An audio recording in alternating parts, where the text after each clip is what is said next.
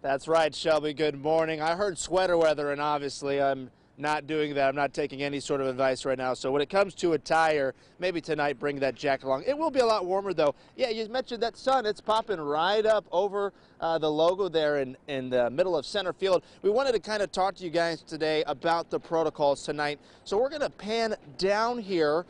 You guys see that orange tape over every other row right behind home plate. That's to help social distance and keep fans separated. I know groups are going to be uh, usually you know one person, two people, four people, or six, and so you can see kind of all in the uh, bottom bowl here. You've got that orange tape.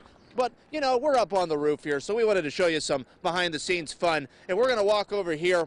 Uh, we've got the warehouse district over there. We're going to show you some of these foul balls that were hit 620 days ago because that's the last home game that's been here at Dozer Park. It's just right over this edge here. We got we got about 30 or so balls down here on the ground.